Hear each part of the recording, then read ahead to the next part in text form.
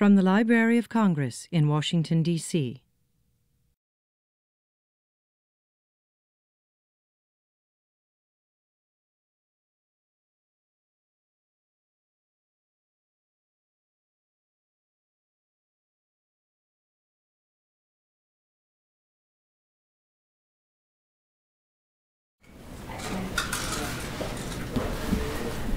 afternoon. We're going to start. Um, welcome to Pres Preservation Week at the Library of Congress.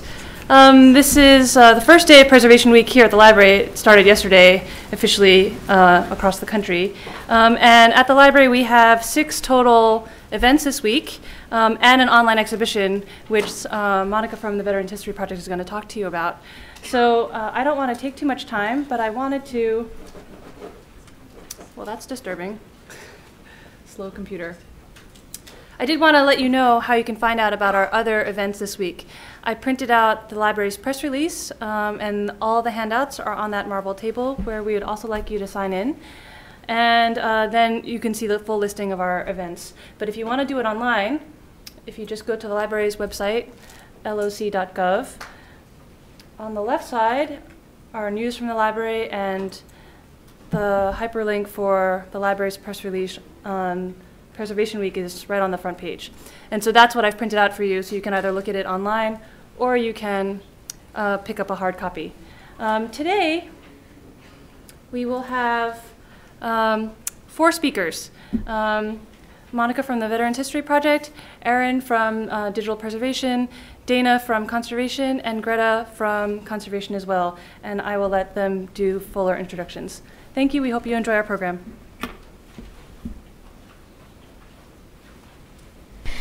So, how many of you actually know about the Veterans History Project?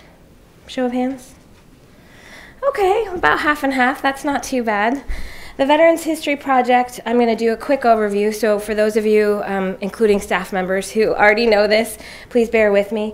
We've been around since October of 2000, and uh, the reason that that's true is because there was unanimous, believe it or not, legislation put into place at that time by Congress creating the Library of Congress Veterans History Project in the American Folklife Center.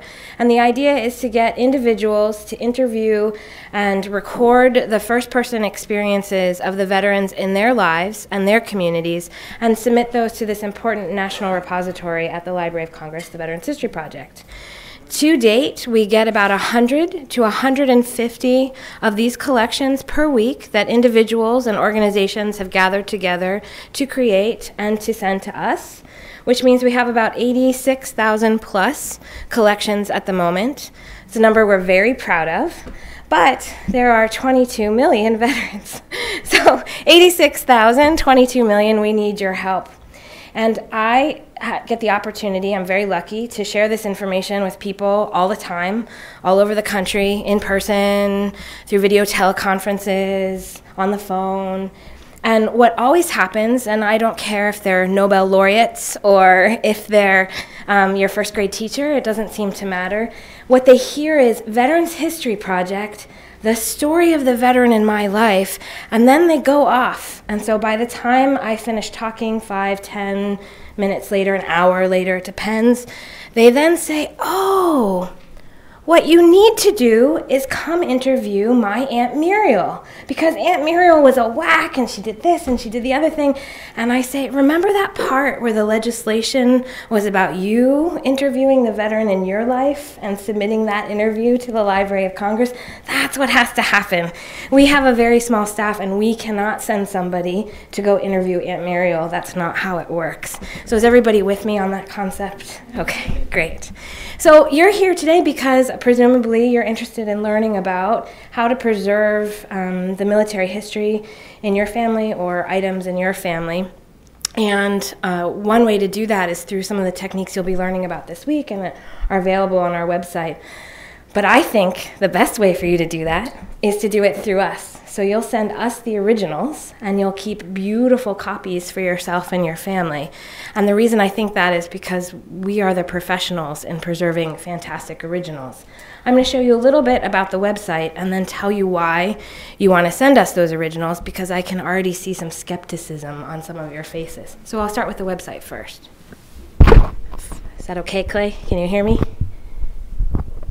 Great. So,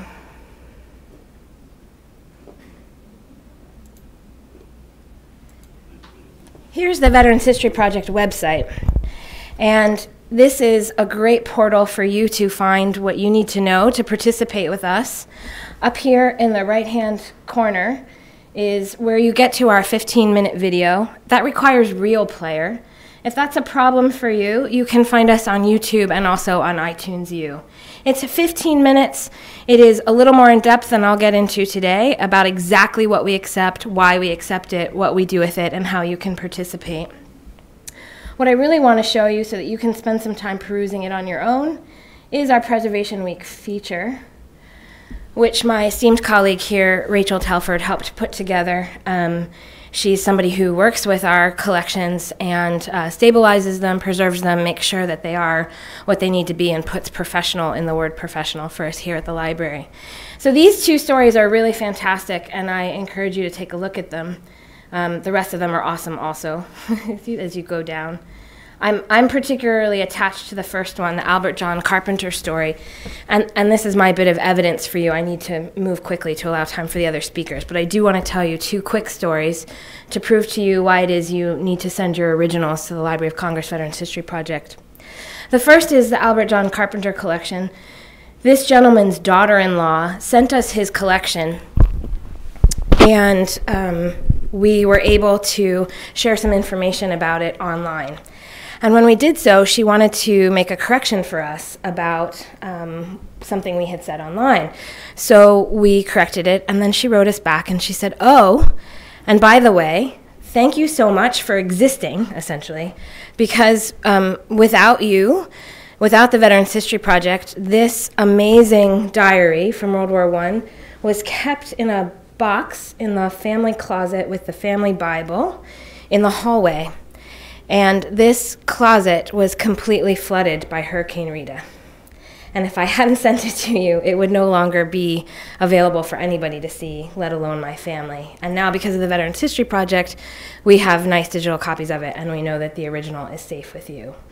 I lied, I'm going to tell you two stories. The second story we have um, a historical society who will remain nameless because I don't want to embarrass them, but they are very professional in what they do. They're in Georgia, and they're incredibly wonderful people. They've been doing this for a long time, but as with a lot of these places, it's from the heart. So the gentleman who runs it keeps most of the collections actually in his house. He has a home office. He was here visiting with me, talking to me about our originals policy, and he wanted to know, you know, why do we have to have the originals? The veterans don't want to give up the originals. The historical societies, the museums, they don't want to give up the originals. Why should they send them to the Library of Congress? It's so far away. It's in Washington, D.C. And I said, Bob, and that is his real name. I said, Bob, these are the reasons why, and I went through how we stabilize them and make sure they're for posterity. Well, we're having our conversation, and he comes to admit to me he's living out of a hotel. And he's been doing so for a few months. Well, Bob, why are you living out of a hotel? Oh, we had a house fire. he says, a house fire ravaged the house where the home office is. Now, fortunately, the home office was spared. That section of the house was spared. But he had a house fire. It's been a couple hundred years since we've had a fire here at the library, so another good reason to go ahead and send us the originals. One last thing to consider. Sometimes people in institutions and places get concerned about um, making sure that they've done it right, that they've compiled the information right, and so they'll set it aside in a closet, or they'll set it aside on a desk or in a cabinet drawer. And the next thing you know, something happens, and then something else happens, and then that person gets a new job or run over by a bus or something happens and then that collection is lost and nobody knows why it was in the file cabinet and then it, it ends up in the trash. We do have people calling us saying, I found this in a yard sale, I found this in a dumpster, you know, can I send it to you? So if you're the steward of something, think really carefully about whether or not um, it deserves to be uh, stored here for posterity. So just two more things about the project itself. There's a problem with being short and moving around a lot. Two more things about the project itself. Please pay attention to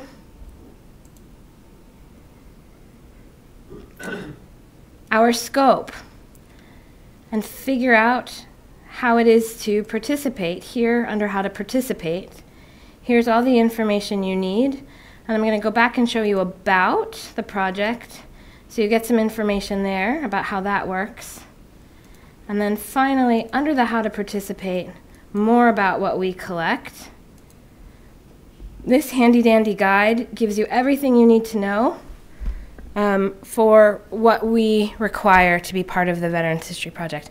I think I have like two seconds to take a couple questions before I pass the baton on. Yeah. What fits into veteran in that? Mm, thank you. That's a great question. So we accept um, American veterans, they don't have to be citizens, but who served for the U.S. from World War I through the current collections. And you're saying World War I, we lost the last World War I person. It's true, but people are finding diaries and journals and letters, and we want collections of those, 10 or more originals of those. And uh, so sometimes people say, well, what about Cold War warriors? We also take those. They're not spelled out in our scope, but we'll take them and will take civilians who served in professional support of the war effort. Do you also provide information on how to find some of those records? Sure, we have a fantastic database. And please note that they, it is somebody who will have had to have participated. So the database is not all inclusive, it is only our collections. And this is how you get to it here. Search the Veterans Collections. And these click boxes give you different opportunities, including is it a digitized collection? About 13,000 of our collections are fully digitized. Um, is there a transcript? We do not require transcripts, so some have them, some don't. And these fields also give you some opportunities over here.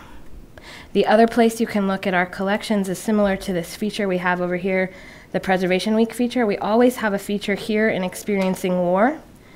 And this one is the last in our series about Vietnam, but you'll see that we actually have um, about uh, 37 of these uh, collections. Sorry, I'm getting from our director, pardon me, 39 of those collections. One related question. Sure. Do you, do you cross-reference what you have with what other agencies have? For example, uh, State Department, Immigration, and so on? Because they appear to have some stuff that isn't published. No. Mostly about family, one of whom came here during the war, and there's no record of his appearance until he became a citizen. Yeah. But he was on war business, so somebody's got that record. Yeah, I would try NARA or the State Department, as you say. Our our scope, our mission is truly these fir- documents of first-person experience, and that's what we have. that's all right. Did not come here for that. That's what he said. Absolutely. I'll take one more, and then I really should turn it over. Any others? Thank you so much for your time and your attention this afternoon. I'd like to introduce um, Erin Engle, who's here to talk about digital preservation. Right? Yeah? Thank you, Erin. Hi, everyone. How are you? Good. Thanks for coming today to the Preservation Week event. Um, we're really excited to see so many of you here today. So let me just pull up the PowerPoint. Can you hear me? Okay. So um, what I'm going to talk about today is um, we're going to start with preserving digital photos, and then Dana from Conservation is going to talk about preserving your traditional photos. So we'll take questions at the end, so please keep in mind um, anything you may want to ask uh, um, during, but we'll take questions at the end. Okay. So what I'm going to go over today is just talking about the nature of digital photos and why they require special care. Just as you would um, take care of your traditional photos that um, you have at home in your photo albums, um, but these digital items um, are different, have different qualities and nature, and so I'll talk a little bit about why you need to take action to care for them.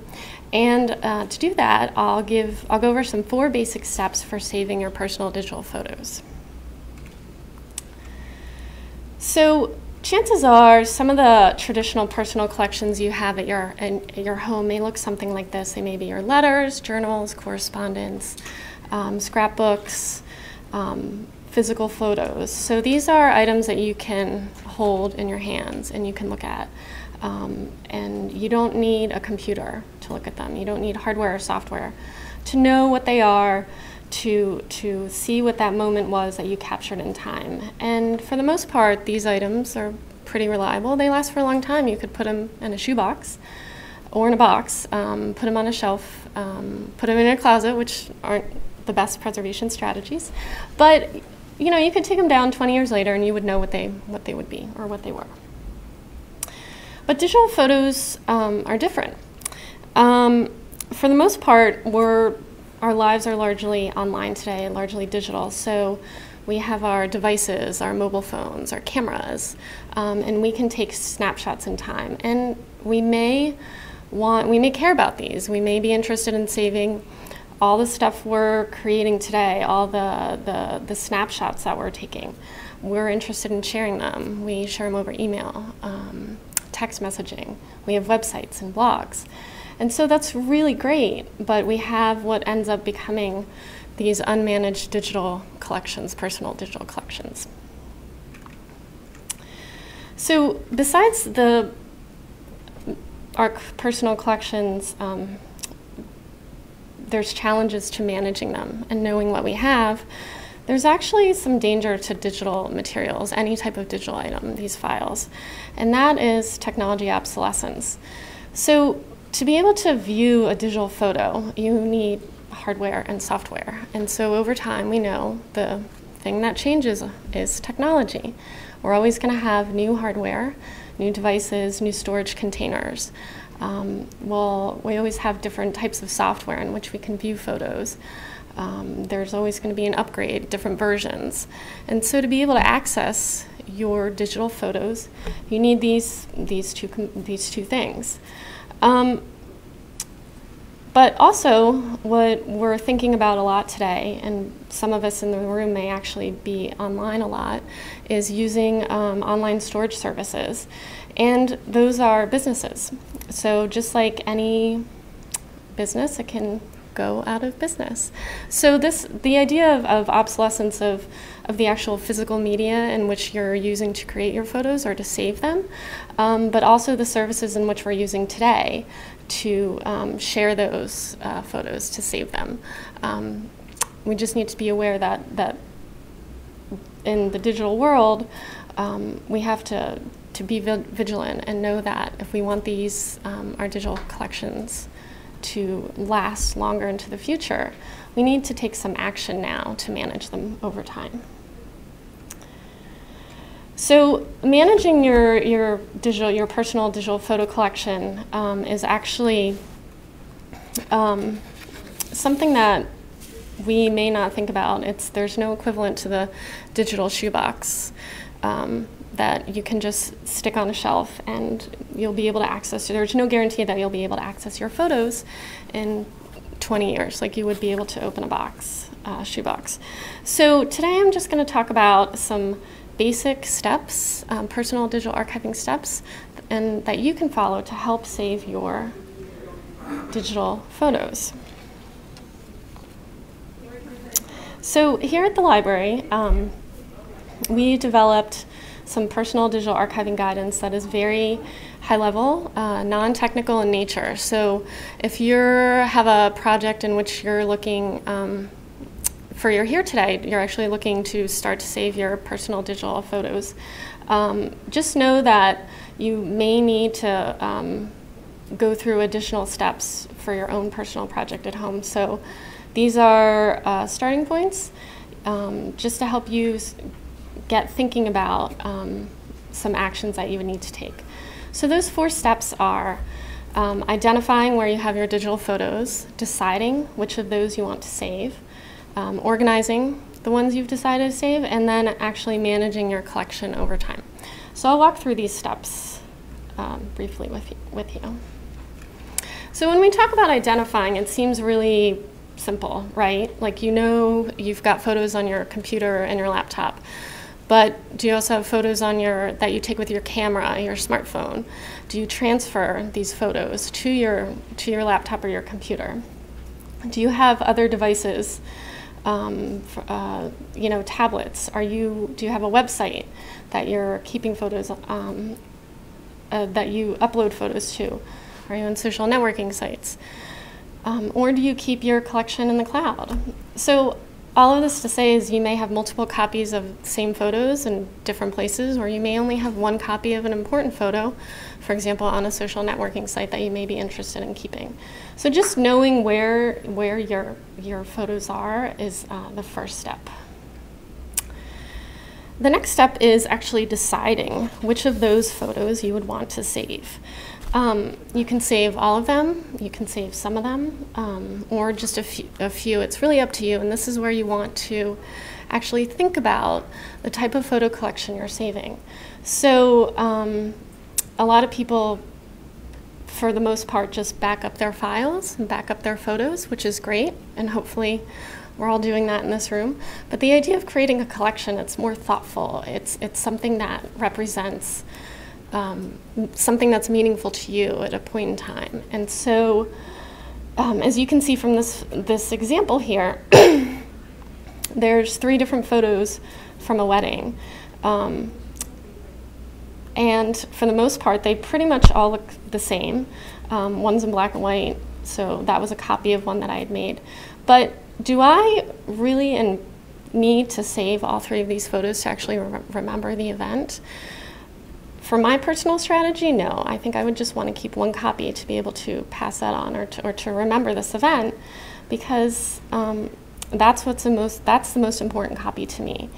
And the other thing to think about too is if you are creating a collection to pass down through your family, if you're just backing up your your your collection, um, would someone in your family actually really want to go through 800 pictures of photos that you took at one event? So Another thing to keep in mind, and it's okay to, to weed or delete any of your, your photos if you're not interested in passing them on. The next step is organizing the photos that you've decided to save. So after this thoughtful process, here's um, actual action that you could take. And the first step is creating a file directory onto your, on your computer um, in which you're going to be saving all the digital photos that you've chosen. And you can call it something simple like My Archive or My Collection.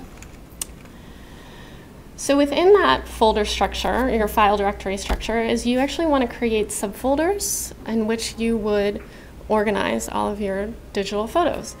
So with this example, you can see that um, the folder structure is organized by year.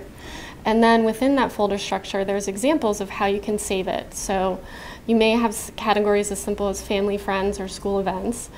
Or you may have, um, you may decide to organize your photos or other digital materials by different types of content of things that you're saving. But the thing here is what you want to remember is uh, pick a strategy, stick with it, um, because that's something that um, uh, would be consistent over time. That would make it easy for you or easy for someone else to, to remember if they're looking through your collection. Part of organizing your digital photos is actually labeling them or renaming them with descriptive, something descriptive. So um, when you take a photo with a camera or a smartphone, the camera automatically um, give, names the photo some, something like this. It, it might be a combination of letters or or numbers, and it doesn't mean anything. You actually have to open this file. You have to open up this, this file to know that it's a photo, but you don't know what the content actually is. So to, helpful, a helpful tip here is actually naming it with something um, where you would know what it is by looking at it or have an idea of what it's about before, um, without having to open it. So uh, in this respect, you want to try to keep uh, consistent naming convention here too. Um, and sometimes, depending on your photo organizing software that you're using, you can actually tag photos that would help you find or discover, search through your collection. Another part of organizing um, is after you've gone through all of this work of creating your collection, your archive, is you want to create an inventory.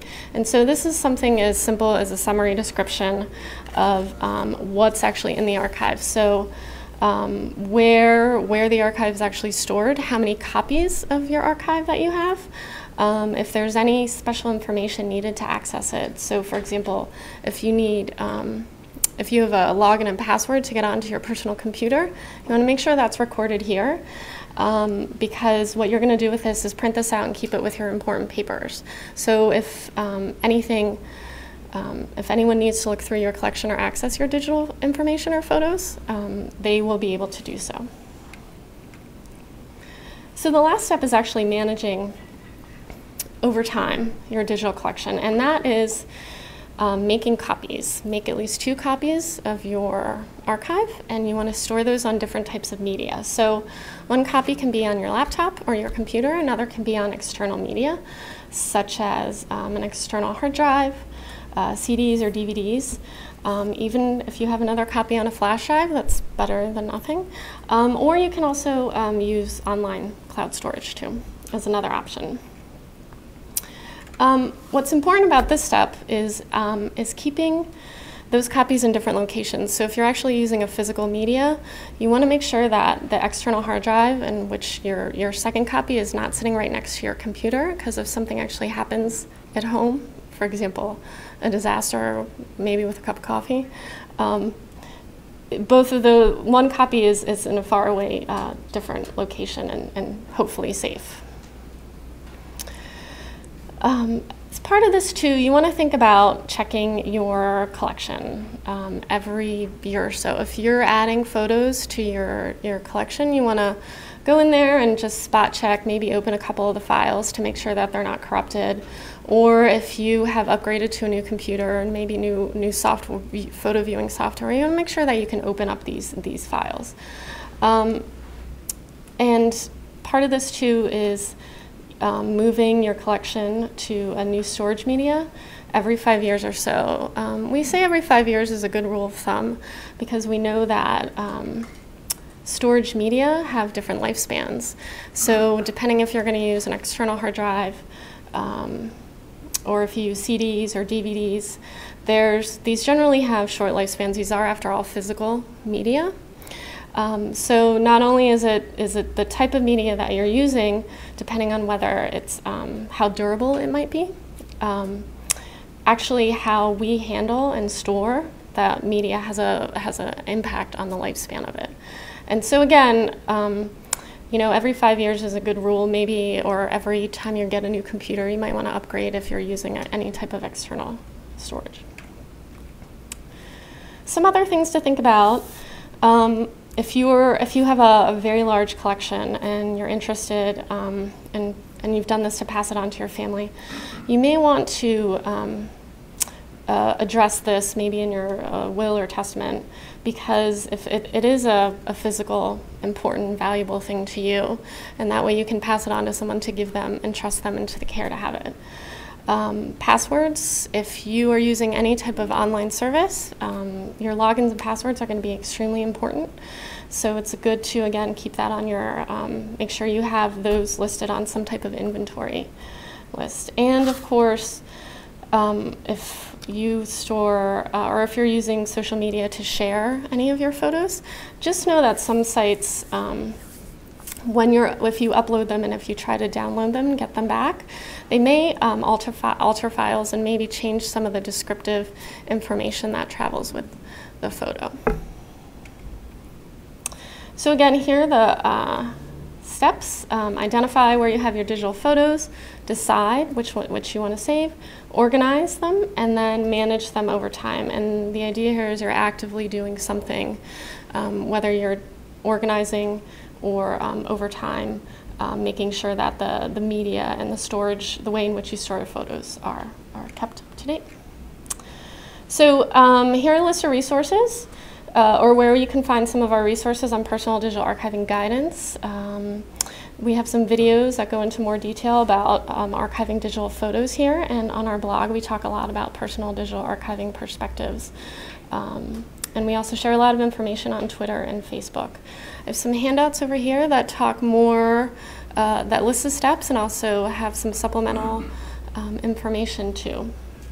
And I think I've actually gone over in my time a little bit, but um, if you have questions, um, I'd be happy to take them after Dana and Greta talk. So, so up now, Dana Hemmenway. Thanks. Hello, everybody.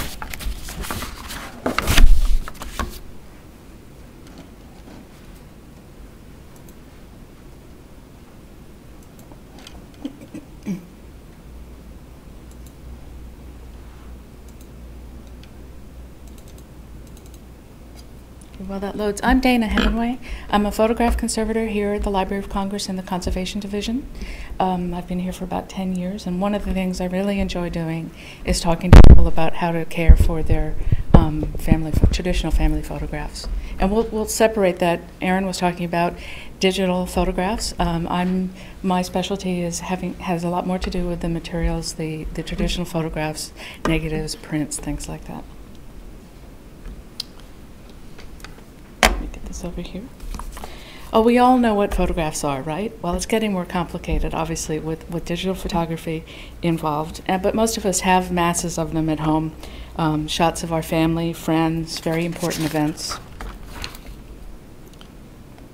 Oh. Since its invention in 1840, photography has gone through many, many changes, uh, using very different materials and very different techniques to make them. Here are just a few of the names. That's only just a few. Photographs were present at the Civil War um, and are today still very in a very important part of our remembrances and documentation of significant events.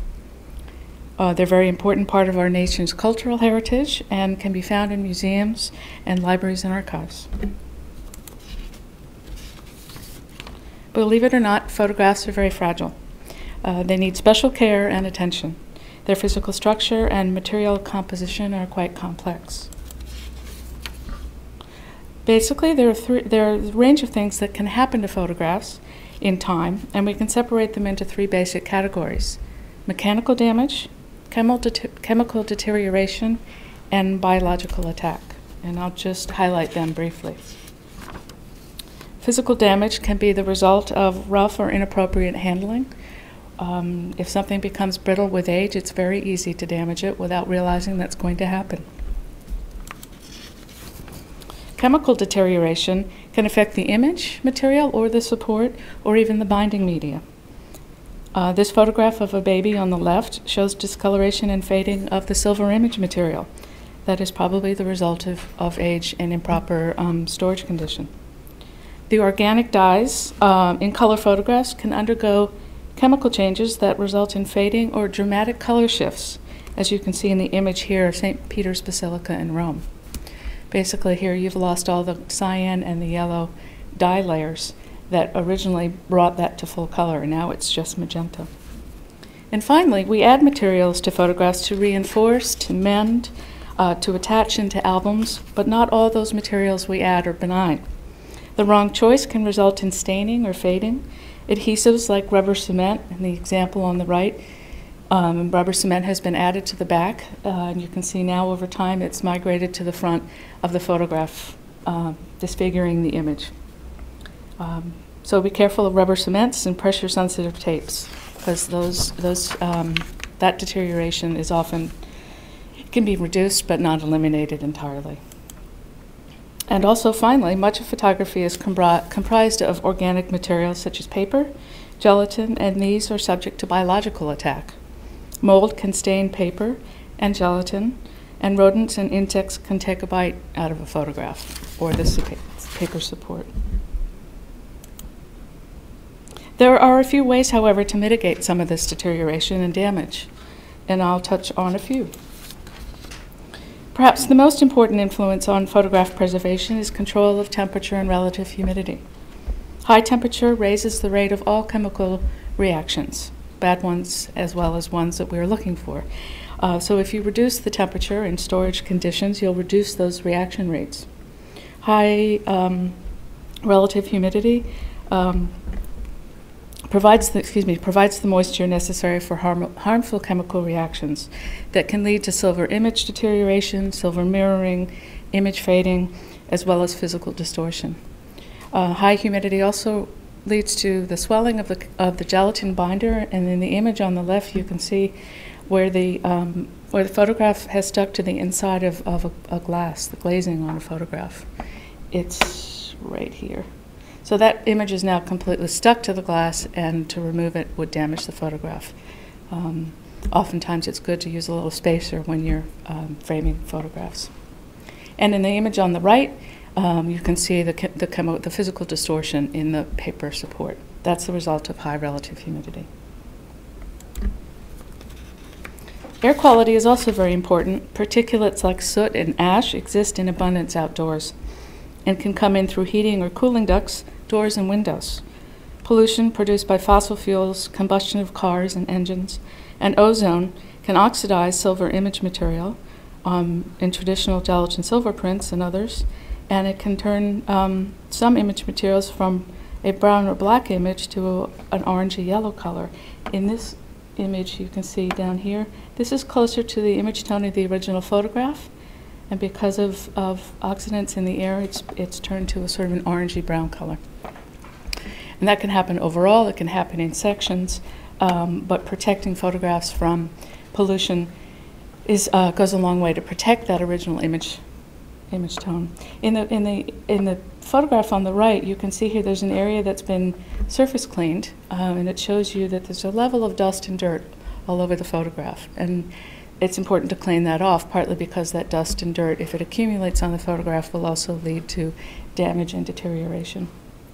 Um, and in the image on the upper left, you can see the beginning of the deterioration of the silver image material coming in from the sides. Pollution is affecting the print from the perimeter, and it will just close in if it's not uh, put into protective housing and good quality environment. Oops. Next.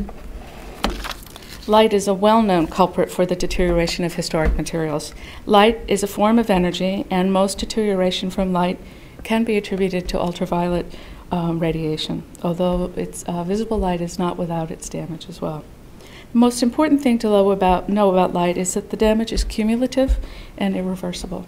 You can see two examples of light damage here. On the left, this is a platinum print um, where the paper background, you can see where the mat has covered up the edge or the perimeter of the photograph, and in the center, it's um, become yellowed uh, through exposure to light. And on the right, uh, the oval mat opening shows you where the color dyes have faded versus what was protected under the mat. Prolonged display can fade images permanently. If you have photographs on display, try to avoid direct sunlight.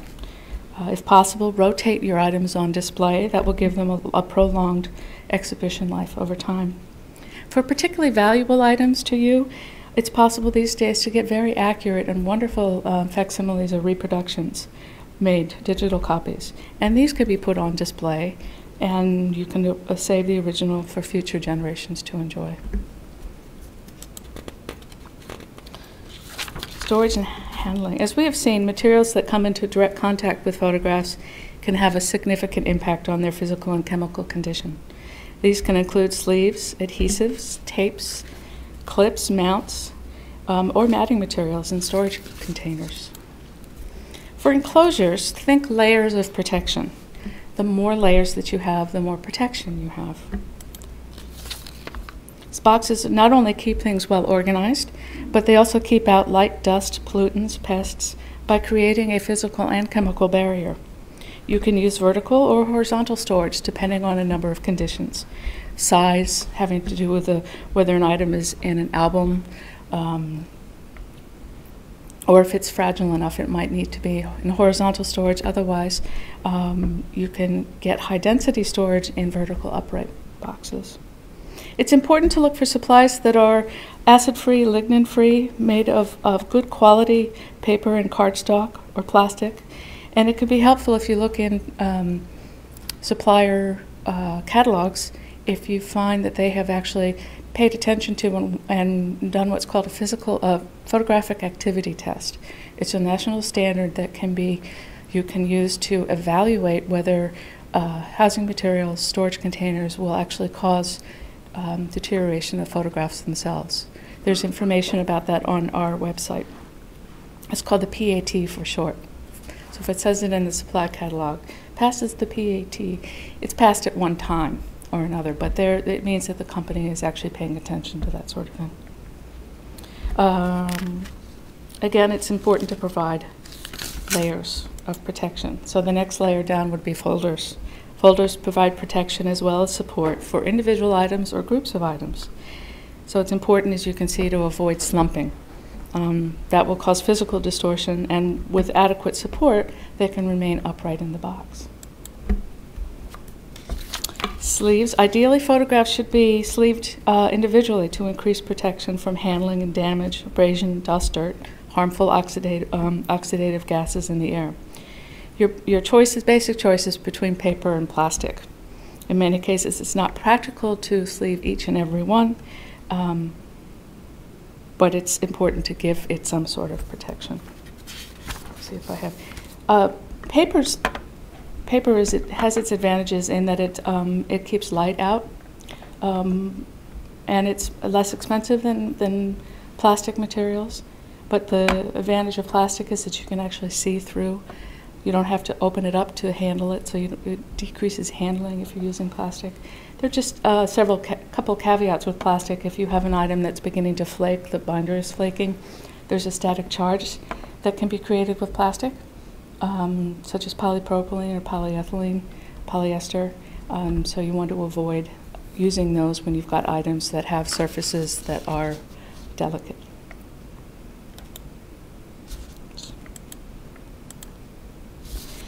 And of course, good handling techniques are very, very important. Though much attention has been given here to the proper environment and physical storage of photographs, it's really when an item is being handled that it's at its greatest risk. A photograph that's rested in archival storage for decades may be damaged irreparably by just a careless moment. Not something someone intends, but if you're not careful when you're handling physical items, you can damage them very, very easily. Nobody wants that to happen, but it can happen. Here are some basic guidelines to help you with handling photograph. It's important to handle them one at a time, but use both hands to support it. I can't tell you how often I see people picking up photographs with one hand, even if they're little.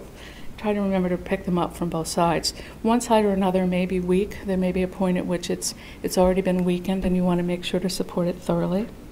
Um, stack items carefully in smaller groups, uh, small, smaller ones on top of larger ones. Don't bend or force a photograph in and out of a sleeve as you see on the upper left. Um, you can break or crack the emulsion. Use a support board to carry photographs, especially ones that are brittle, as you can see in the upper right. Use pencils when working near or marking the back of photographs. Inks can stain um, as well as fade image material. See on the lower left, that's an inscription on the back of the photograph. It's actually migrated through to the front, fading, fading the image material itself um, and wear gloves or have very clean hands when working with photographs. Fingerprints, like the ones you see in the picture in the lower right, can, um, can actually fade the photograph, and that's not um, reversible. Here are some basic, um, both of these uh, websites have a great deal of information, our own as well as the American Institute for Conservation. Um, those are their URLs there. They also provide links to other, other resources, but I would start there for information about caring for photographs or any kind of material. Um, and if you have any questions, um, again, as Erin save them for the end.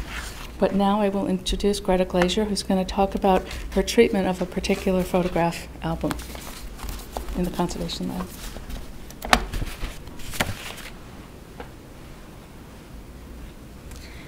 Good afternoon. Thank you all for coming out today. Today I want to talk to you about an album that I treated under the supervision of our book conservator Claire Dekle and my supervising photograph conservator Dana Hemmenway. And this is just to give you a little idea about some of the things that uh, go on here at the Conservation Division of the Library of Congress.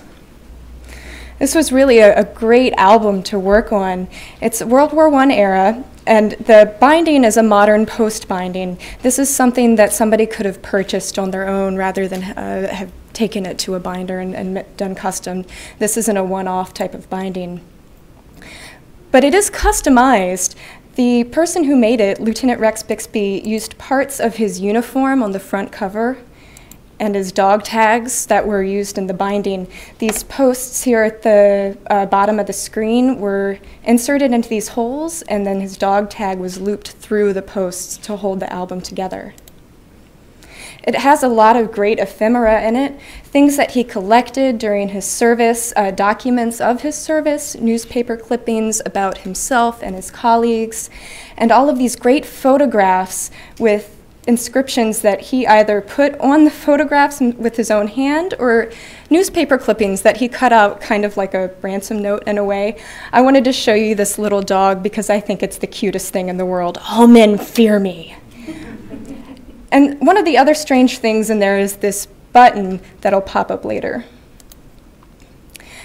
Somebody at one point in time had used what we call pressure sensitive tape to uh, do some triage repairs on the album.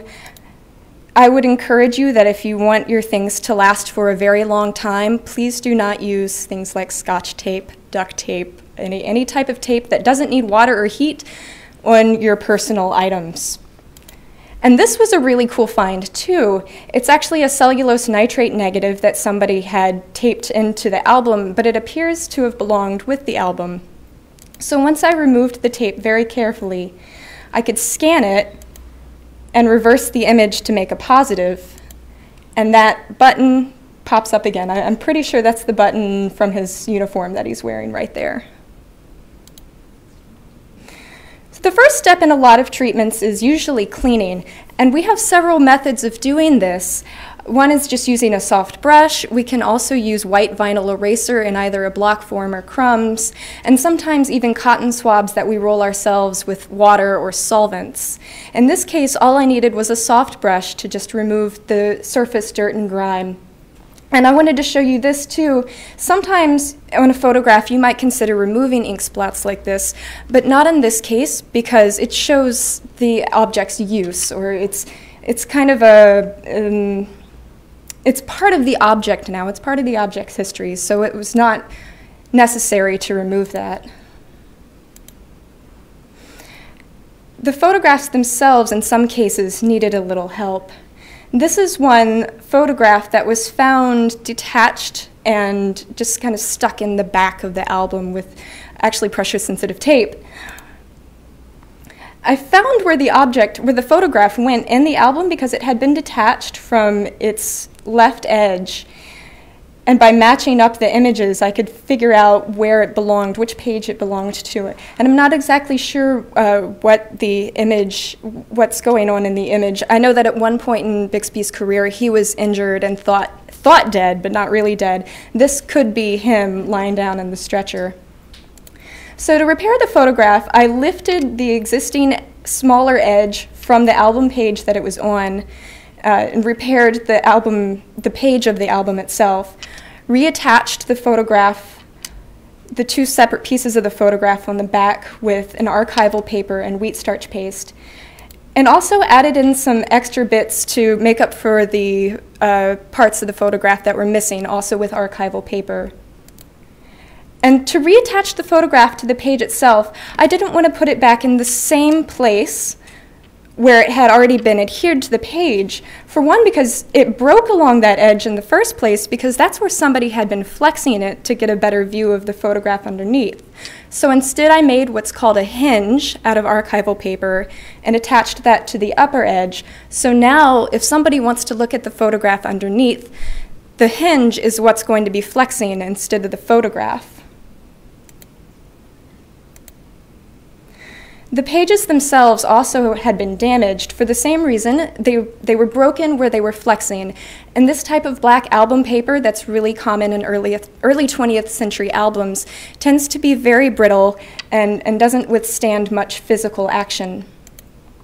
So to repair them, I made uh, guards in a way out of an archival paper, paper that I toned with acrylic paints and let dry before I uh, attached them to the pages and then used wheat starch paste and left them under weights so that I had a, a, reinforced, strengthened guard that would be on the binding edge of the album.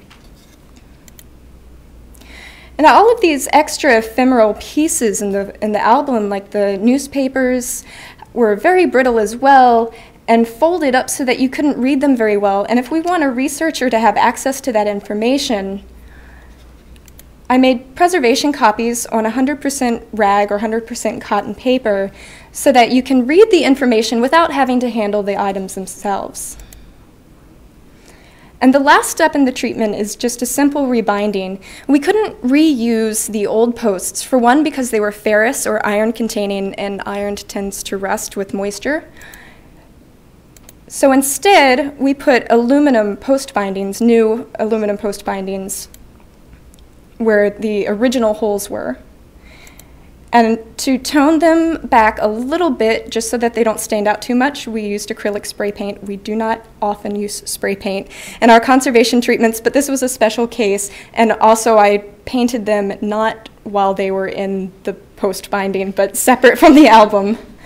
And we left the back untoned, uh, for one, just to not make work, but two, so you can see what's original and what's not original. And the very, very last step, this is really fun for us here because we have a box cutting machine, so we can make boxes to spec, and it's really, really fun to watch, is that we made a box for the album in all its pieces. And all of the ephemera got put in separate sleeves in a folder that's going to stay with the album so that if anybody does need to see the original item, they will have access to it, but uh, the polyester sleeves should prevent damage during handling.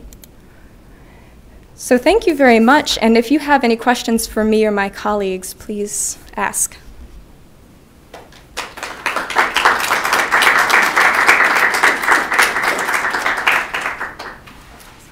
Um, questions from anyone? Yeah. The newspapers that were on the, uh, that were on the scrapbook, and a lot of those. um, What, in this case, you could take the scrapbook apart, so were you scanning the newspapers without detaching them from the page? Oh, sure. So the question is about preserv- uh, preserving the photo, the excuse me, preserving the newspapers and photocopying them. Uh, some of them were adhered to the pages of the album, in which case I would have to scan them while they're still attached to the album because I didn't want to take any of them off. Some of them were already detached, which made scanning quite a bit easier. And instead of trying to figure out where any of those things went, I did not readhere them back into the pages. Now, did you, did you scan them as TIFF, JPEG, PDF? Is, is there a standard?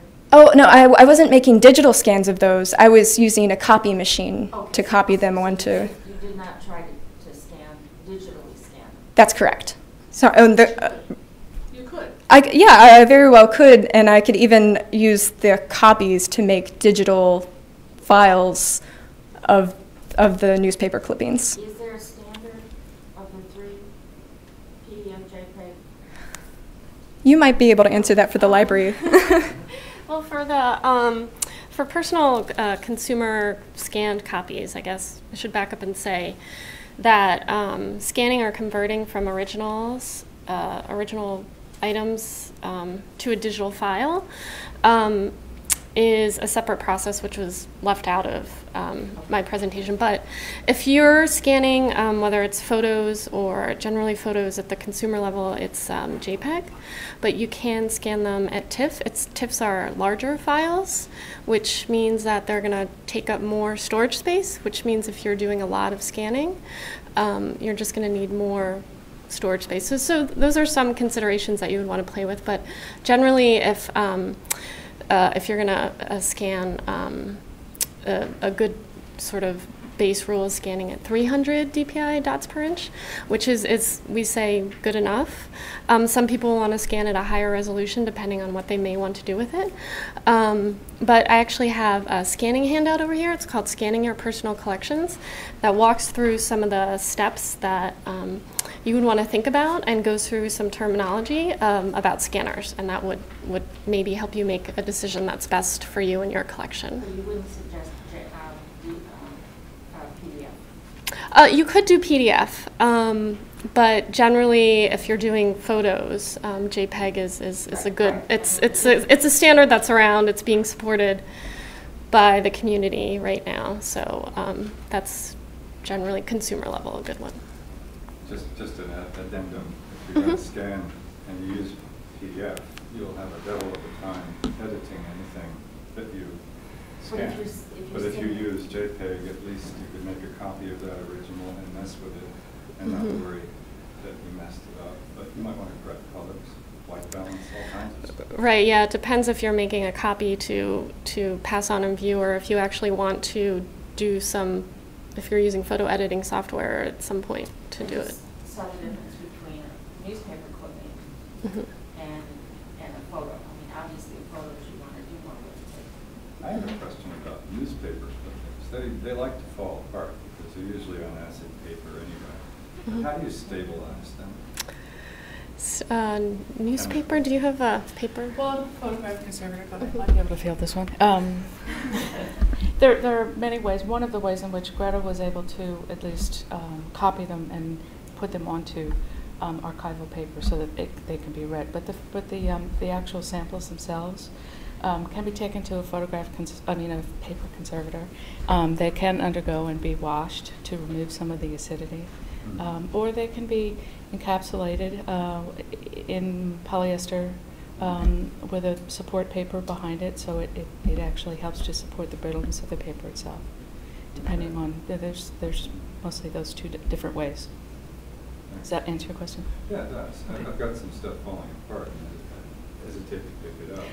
I would also recommend looking at the, both um, the library's website as well as on caring for your family memorabilia, um, not just photographs, there's another section in there, but also the American Institute for Conservation website. Um, the specialty group book and paper, there's probably information there on, on how to care for family um, paper items. Thanks.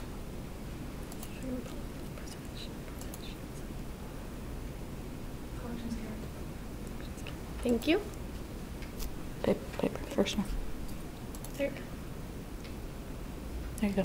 And there's a link also specifically for newspapers. Yes. That, that uh, World War One album, that, is that preservation done now?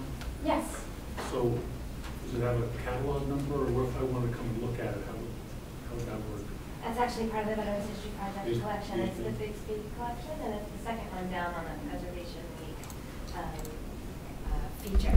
So that you can take a look on that. It's back on our homepage. Yeah, there we go. That's the collection there. Um, And that gives you the information about how to access it. Yeah. Okay, Oh. um, I'm familiar with the site, but, but did you say, so that's physically being kept at the Veterans History Project area, or? Not quite yet. Not yet. still in conservation, but it will be sometime soon. Give it back. Such a great example. I have a question about cloud storage. Mhm. Uh, One of the earlier speakers said something about, well, we don't really know. You, I think. said, Yeah. We don't know how long these companies will last Mhm. individually. Mhm. Although the trend seems to be that there will be some. But I I have a large collection of stuff that I'd like to upload. Mhm. The puzzlement in my head is the rate of upload is so slow that it would take nine months to a year to do it. Mhm. And my, I want my computer running overtime for nine months to a year. So Right. I'm trying to figure out how to get that stuff off-site and into someone else's custody Mhm. quickly. And I don't know how to do that. It just seems like a. Bandwidth problem? It's it's not a technology Right. Because they could accept this material faster, but Mhm. they will not. Uh, bandwidth may be the, the, you know, the provider in which you're using to upload it, but if you're, I mean, I have a, I have a Mhm. fiber optic Yeah. but they'll take three Mhm. megabytes, nine megabits per second maximum. well, it sounds, it sounds like you have a very large personal collection, and I think um, the larger people's personal collections get, perhaps these companies will address this issue. Um, and so sometimes people may be doing it. One strategy might be um, to some some providers do automatic backups every time you add new content to a collection where you can just automatically back it up and it'll go into the cloud. So instead of just doing everything all at once, you can start to do it as you're, for example, taking your photos from your camera to your computer and downloading them, and then maybe if you're using a, a service provider. Um, so a lot of the steps that I talked about are people who may be doing parts of parts of um, organizing or managing their collection. But I think a lot of people, if they're doing, um, they're scanning their collections, creating this new content, in addition to, to making a collection with their digital photos now. It's, it really is almost a, a project to think about. And you bring up an excellent point, consideration about Seen that, I um, mean, the size going up. files Yeah. Cameras is getting bigger and bigger, and Mhm. limit to how long you can let this thing run. Yeah. Yeah. So, um, yep. Do you have tips for preserving and or digitizing thirty-five millimeter color slides? Um, actually, yes. Um, on our website, um, uh, we have um, an extra handout on how to uh, digitize slides or negatives, um, and it's on. Uh, see if I can get there. Yeah. Oh, yeah, that's right. Thanks. So um, on digitalpreservation.gov, you can um, find some more information about various the various different types of formats, types of content. So not only photos, but videos, um, audio files, email, um, digital personal digital records, and websites. And so on our digital photos page, here's some of the um, additional. Oh wait, um, we have additional um, information about scanning slides, which, oh, here's our handout. Um, so we talk a little bit about here what you want to scan at. Um, a lot of times if you have a personal scanner at home, it may have come with an actual slide scanner, or you can buy specific scanners, slide scanners. Um, but the general rule um, is scanning at 1900 dpi because they're smaller. So that's, sorry, dots per inch, 1900 dots per inch because when you want to blow that up, so say for example you want to print it out or save it, you can do that in the future. I'd also advocate at that point, once you get them copied, is to, to save the originals, not presume that, that you have a, a digital file now, then that's good enough. It's wonderful to hold on to the original as well. Yes. But that can be a very slow process, can it? If you have a large number of It can, yes. uh, slides or say Is there any way, can give some ideas on how to speed that up? Um, well, there are companies that can do this for you, so it's your personal choice if you want to outsource it.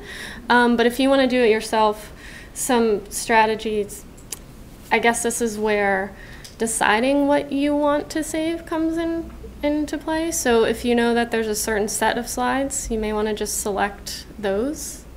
Um, but if you want to do everything, um, it's just going to take more of your personal time and effort. So unfortunately, no easy answer there.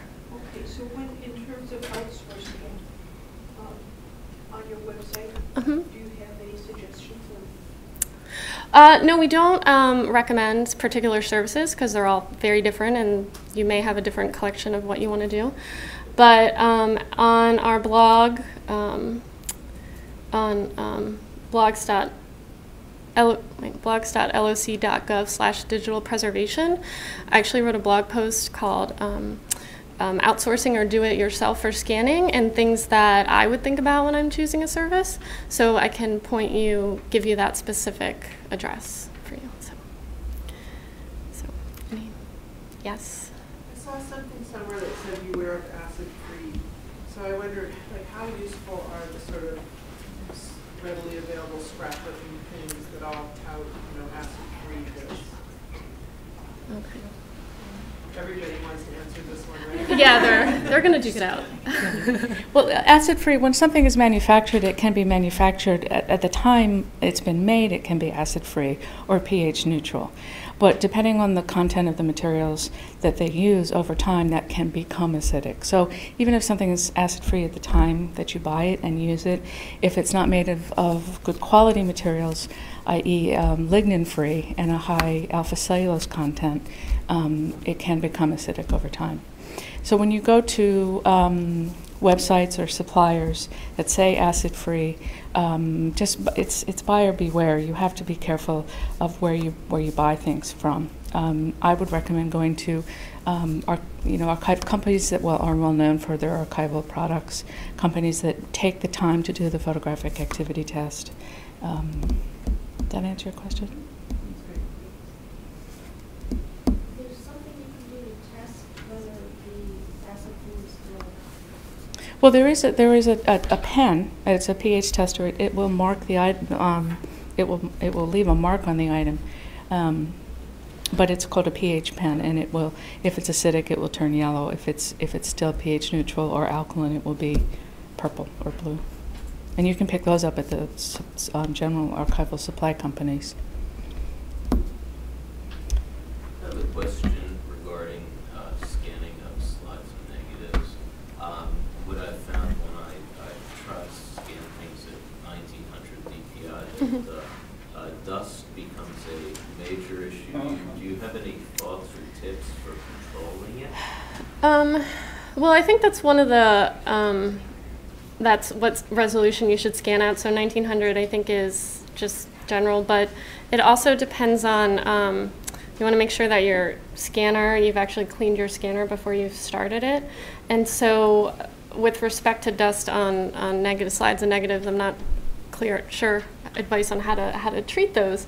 But a lot of times too is you may want to do a couple of tests with your scanner and with also the monitor you're using too, because what you scan at may actually look different on your monitor versus someone else's, and also the scanner that you're using too. So it's it's you might want to do a test of higher and lower resolutions for scanning, and seeing what you're most comfortable with. But 1900 might be starting, so you might want to go lower if you don't want to see the dust particles, and depending on the, the quality of it too. Just a couple of things, if you're doing slides and, and um, negatives, is use a, an, an ear syringe. It, it has a, flex it, it blows puffs air out, rather than using your breath, it will actually be, you're able to dislodge some, dislodge some dust and particles. Otherwise, a very, very soft brush. Uh, you can buy it, it's a camel hair brush that you can buy from some photographic companies. And that's soft enough to, if you very, very gently, um, clean off both sides of the, of the film. Yes. Mhm. Is there anything about plastic that we should be aware of, like with paper acid-free? I see you mentioned polyester, and I really don't know very much about plastic, plastic. So there are some uh, plastics that degrade over time and some that degrade very quickly. We generally use polyester or polyethylene because they're known to have good aging characteristics. And you can find those at uh, any vendor, any archival vendor. And it, they have also, those two plastics have also passed the photographic activity test. Um, I would stay away from things that say they have vinyl in them, like polyvinyl chloride, polyvinyl acetate. Uh, those tend to off gas acids and will embrittle or, or uh, contribute to the degradation of the objects that you're trying to store. Um, the Northeast Document Conservation Center, the URL I just pulled up, they just changed their website today. Um, they have a very good leaflet. Uh, it's printed. Uh, you can get it off the off the internet. You can also get it um, printed from them. Uh, and they talk about storage materials, and they list very clearly um, the different kinds of paper, uh, characteristics that you're looking for, as well as for plastics. And let me see if I can just find that for you. Um, storage, storage. Northeast, it's nedcc.org. And it's up on your screen now, Northeast Document Conservation Center. And when you go there, you want to look at their preservation leaflets, which are under free resources, preservation leaflets. And um, here, they've done a very good job of explaining why you want to look for certain things when you buy your preservation supplies. Um, this leaflet 4.4, storage enclosures, talks about chemical stability, um, why that's important, the alkaline buffer. Um, here, plastics, um, and what you're looking for when you buy plastics. Um, so that's a good resource. Uh, stabilizing slides. Slide emulsions get messed up over time. I have many that are, but I think it's mainly from handling, which shouldn't have happened. Well, it could, but there's also um, chemical instabilities in the slide materials themselves. Is there a Uh, Cold storage is, or cooler cold storage is the best way to slow down those chemical reactions that are sort of inherent at room temperature, both the base, if it's, it's cellulose acetate, or if it's color dyes, um, which many of our color negatives are. Um, they're all color dyes. Anyway, if you put them into cold storage, it will just slow down that process and buy you some time um, to copy and migrate them onto other media. But if it's the emulsion, if it's gotten mucky or the fingerprints and things like that, that can be cleaned off before um, before you digitize. And Some of it actually looks like mold, it looks like it's just Could be. well, well, could be mold if it, it's been in a high humidity environment. And in that case, I would be very careful. I would consult a conservator about that because mold, first of all, has um, health risks for the, for the person actually working with the materials. But it can also mold can also render the gelatin if it's if it's a gelatin binder, it can actually denature it, and then um, if you're not careful, you can lose the entire image. Questions? All right. Well, thank you. I think Mary just wanted to close out. Yes, I just wanted to um, remind you again that we have a full week of programming, and tomorrow's program, which is a lunchtime program, is a screening of this 2011 film, The Movies That Make America. It's about the history of the National Film Registry, which is here at the Library of Congress. Um, it was uh, profiled in the Library of Congress magazine, the last issue, not, not the current issue, but the previous one, the one with President Obama's second inauguration on the cover. And I actually have a few printouts of the article on the left, if you, uh, on the handout table over there if you're interested.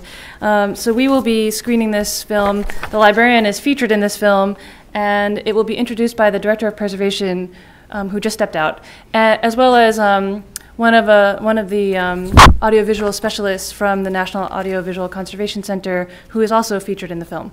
So we hope that you join us tomorrow, and then you can see our full listing of programs this week um, on the press release. Thank you for coming today.